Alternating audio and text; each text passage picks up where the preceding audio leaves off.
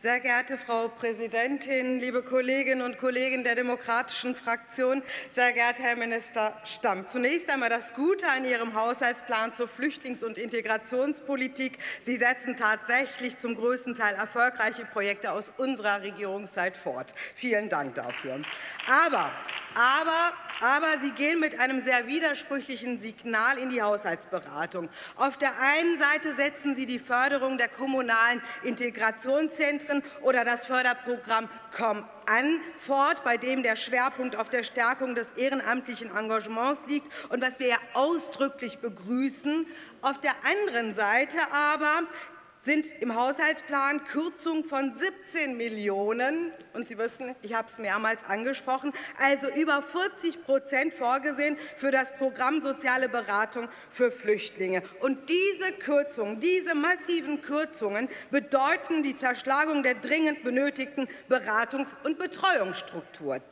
Daher war die Einbringung des Haushaltsentwurfs nicht nur für uns ein Schock, sondern sie war auch ein Schock für die Träger der sozialen Beratung für Flüchtlinge. Denn Sie, Herr Minister Stamm, hatten genau das Gegenteilige zu Beginn Ihrer Amtszeit angekündigt. Auf unserem Berichtswunsch hin im Integrationsausschuss versicherten Sie, dass Sie der sozialen Beratung große Bedeutung zumessen und sich beim Finanzminister mindestens für die Fortführung der Mittel aus 2017 oder eigentlich am liebsten darüber hinaus für den Ausbau des Budgets stark machen machen wollten.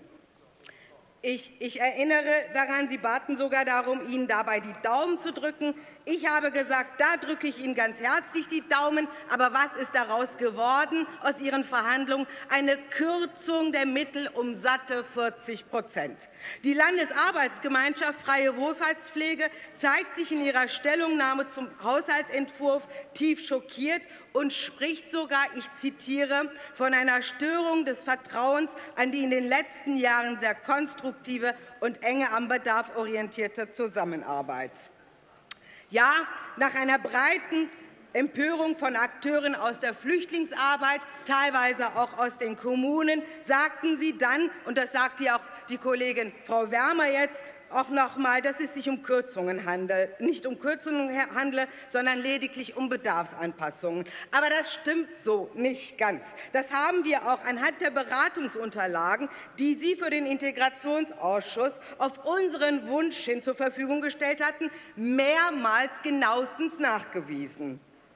Dann sagten Sie, Herr Minister Stamp, wieder auf unsere Nachfrage hin. Sie versicherten zu, dass alle Stellen weiter finanziert würden. Und ich finde es gut, dass Sie diese Zusicherung inzwischen auch schriftlich an die Träger geschickt haben. Allerdings ist im Haushalt bisher immer noch nicht ersichtlich, aus welchen Mitteln Sie all diese Stellen tatsächlich denn nun finanzieren wollen. Eine transparente und verlässliche Haushaltsberatung ist das nun wirklich nicht, und das machen wir nicht mit.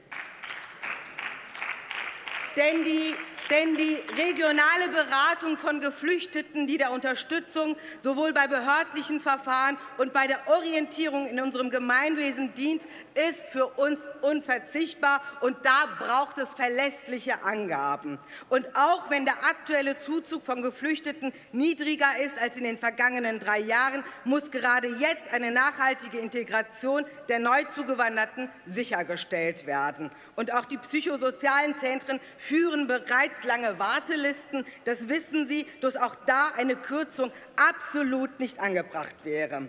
Deshalb lehnen wir den Einzelplan 07 ab.